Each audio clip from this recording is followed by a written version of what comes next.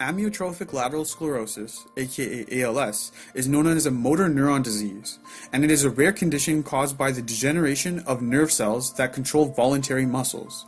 The disease is characterized by gradually worsening symptoms that include muscle weakness, muscle twitching, and muscle stiffness. And as a result of this, the muscle gradually decreases in size, and this results in problems with speaking, swallowing, and breathing. Now, although there is no known cure for ALS, the primary drug that is currently in use is Riluzole. Now, Riluzole works to control and slow the progression of ALS. However, it is very expensive and it appears to be modestly effective. Other common medications that are prescribed also include drugs such as diazepam, which help control muscle spasticity, or gabapentin, which help to control pain. Now, when we're looking in regards to physical therapy and rehabilitation, the uses of appliances such as braces or wheelchair can help to improve your general health. But in those with severe cases who develop difficulty speaking, they may benefit from speech therapy as well as synthesizers or computer based communication systems. Uh, although these treatments are somewhat helpful, drugs like Riluzole, pain medications, or even wheelchairs, these only serve as a temporary solution. And based on the current status of this treatment, as you can see, something more is clearly needed. And that's what brings us to the main topic of this video, which is the clinical trials that are occurring on ALS. In recent years, there have been several breakthroughs that have been established from clinical testing. Now, among many of the developments, stem cell research and gene therapies have risen to the top of this field, having shown promising results. Now, before we address stem cell therapy, it is important to understand what are stem cells.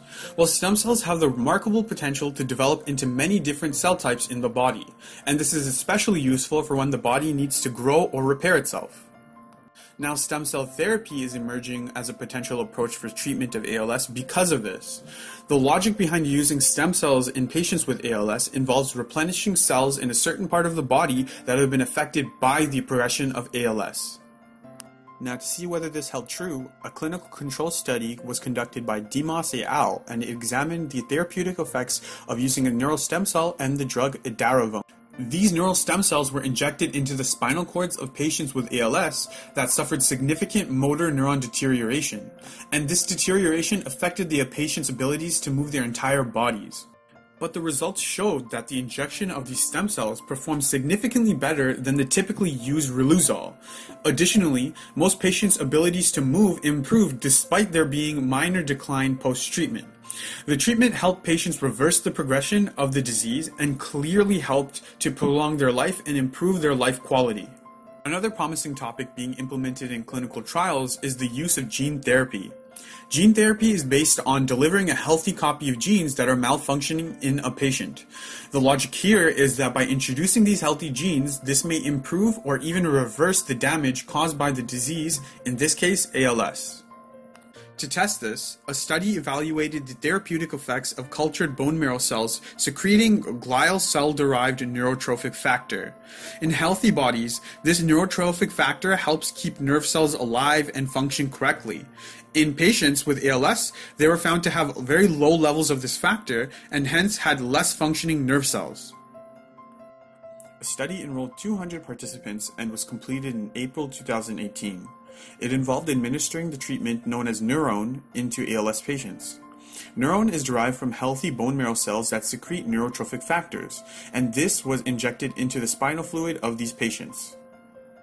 The results demonstrated that the treatment in both cases was safe and well tolerated. Additionally, the injections resulted in a decreased rate of ALS progression during the six months after the injections. This shows the positive side of research breakthroughs and that we can all appreciate. In fact, there are several other clinical trials being conducted on humans and animals achieving similar things.